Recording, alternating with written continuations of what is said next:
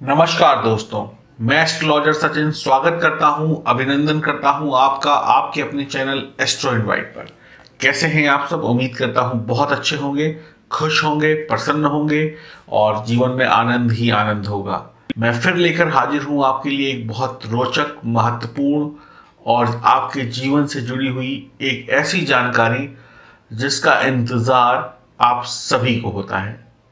और आप सभी लोग जानना चाहते हैं कि वह दिन, वह वर्ष या वह समय कौन सा होगा जब मेरा भाग्य उदय हो जाएगा।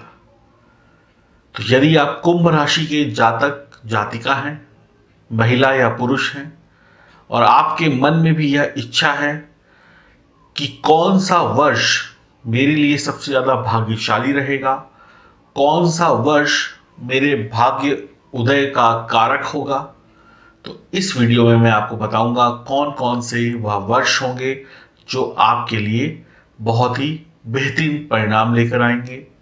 इसके अलावा बहुत सारी जानकारियाँ और भी दूँगा। शुभ अंक, शुभ दिन और कौन सा वह उपाय है जिसको करने से आपको विशेष सफलता प्राप्त हो सकती है, जो शायद अभी तक आपको ना मिली हो।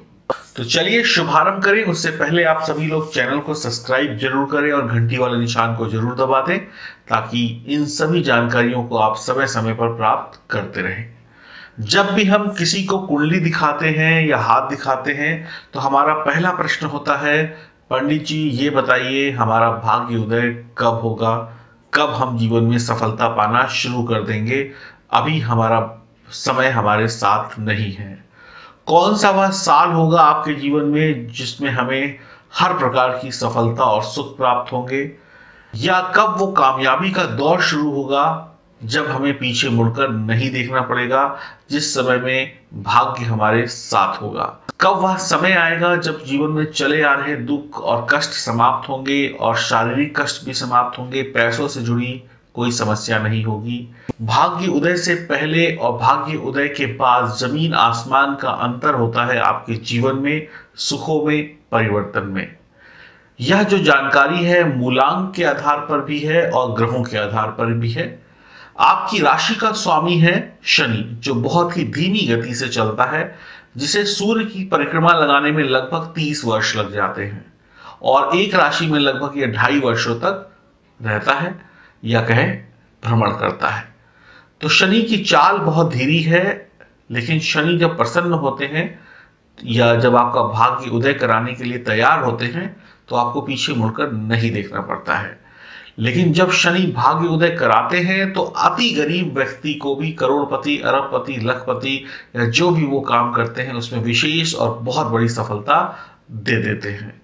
तो शनि इस काम में बहुत माहिर हैं जब तक नहीं देते हैं, तब तक आपको बहुत परेशान रखते हैं, बहुत ही दिक्कतें देते हैं और यह आपके कर्मों के आधार पर होता है, लेकिन जब देते हैं तो कोई भी कमी नहीं छोड़ते हैं, पूरा पूरा देते हैं, इतना देते हैं कि जीवन में जितने भी कष्ट और दुख आपने झेले हैं, बीमारियाँ झेली हैं, परेशानियाँ झेली हैं, वह एक पल में समाप्त हो जाती है और जीवन में सिर्फ़ खुशहाली, प्रसन्नता आपको दिखाई पड़ती है।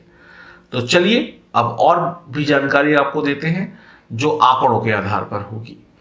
अब जानते हैं किन किन वर्षों में हो सकता है आपका भाग्योदय। तो ध्यान से सुनिएगा, नोट कर लीजिएगा।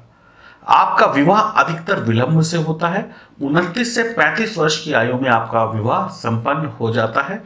यदि आपकी कुंडली में कोई भी दोष ना हो तो। अगर कोई दोष नहीं है तो आपका विवाह उनतीस से 35 वर्ष की आयु के बीच में हो जाता है। उनतीस साल के बाद ही आपके पास अच्छे विवाह प्रस्ताव आते हैं।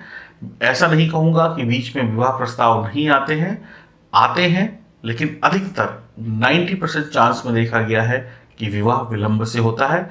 और विवाह होने में सिर्फ़ शनि का ही योगदान नहीं है, अन्य ग्रहों का भी योगदान रहता है। यदि कोई और ग्रह आपके जीवन में बहुत अच्छे परिणाम दे रहा है तो हो सकता है आपका विवाह अति शीघ्र हो जाए। लेकिन यहाँ पे मैं दो बातें जोड़ना चाहूँगा। जब भी आपका विवाह विलंब से होता है, देर से होता है तो आपका वैवाहिक जीवन लंबा चलता है और सुखद रहता है। शीघ्र विवाह होने पर कुछ कठिनाइयाँ आपको भविष्य में देखने को मिल सकती हैं। तो जल्दबाजी ना करें और परेशान भी ना हो यदि आपका विवाह अभी तक नहीं हुआ है और आपकी अभी उम्र थोड़ी छोटी है तो आपका विवाह बड़ी उम्र में होगा इस बात को आप नोट कर लें। अब जिनका भाग्य उदय अभी तक नहीं हुआ है अभी तक नहीं हुआ है जब से आप ये वीडियो देख रहे हैं तब से। पिछली तारीखों की बात मैं नहीं कर रहा हूँ आगे आने वाली तारीखों की बात कर रहा हूँ। तो जिनका भाग्य उदय अभी तक नहीं हुआ है तो उनके लिए 2024, 2033, 2042 और 2051 बहुत ही शुभ रहेंगे। तो अब इस बात को आप समझ लीजिए तो आगे आने वाला जो वर्ष है वो 2024 है जो बहुत नज़दीक है। अब आपकी उम्र कोई सी भी हो ये तो 2024 में आपके लिए कुछ विशेष सफलता छुपी हुई है। 2033 में भी विशेष सफलता छुपी हुई है उसी प्रकार बयालीस इक्यावन में भी विशेष सफलता छुपी हुई है। या कहे, जीवन के यह जो वर्ष होंगे, ये आपके लिए यादगार साबित होंगे। इनमें कोई ना कोई ऐसी चीज़ ज़रूर होगी, जिसको आप जीवन भर याद रखेंगे। आपके लिए शुभ तारीखें होंगी, आठ तारीख, सत्रह तारीख और छब्बीस तारीख हर महीने की। आपके लिए सोमवार और बृहस्पतिवार का दिन शुभ रहेगा। और विशेष शुभ दिन रहेंगे बुधवार और शुक्रवार। और यदि किन्हीं कारणवश आप जीवन में दिक्कतें झेल रहे हैं, परेशानियाँ झेल रहे हैं तो मैं आपको दो सलाह देना चाहूँगा। एक बार तो कुंडली की विवेचना ज़रूर कराएँ। हम आपकी कुंडली को देखकर बताएँगे कि उसमें क्या परेशानी है। और यदि आप चाहते हैं कि आपको कोई शॉर्टकट बता दिया जाए तो शॉर्टकट ये है कि आप पंच धातु का छल्ला या लोहे का छल्ला पहन सकते हैं। लेकिन मैं आपसे फिर कहूँगा, एक बार पहनने से पहले कुंडली का विश्लेषण ज़रूर करवा लें। लेकिन यदि आप इन छल्लों को पहनते हैं तो भी आपको लाभ होगा और ये आसानी से आपको हमारे संस्थान में मिल जाएँगे। आप इनको पहनकर लाभ प्राप्त कर सकते हैं और यह बहुत महँगे नहीं हैं, या बहुत ही कम दामों में उपलब्ध हैं। तो चलिए उम्मीद करता हूँ कुंभ राशि वाले इन तारीखों को याद रखेंगे और इन तारीखों में उनके साथ बहुत कुछ बेहतर होगा और वह प्रसन्नता पाएँगे, खुश रहेंगे। और चैनल को ऐसे ही आप लोग देखते रहें और आपका प्यार हमें मिलता रहे। हरिओम, नमस्कार।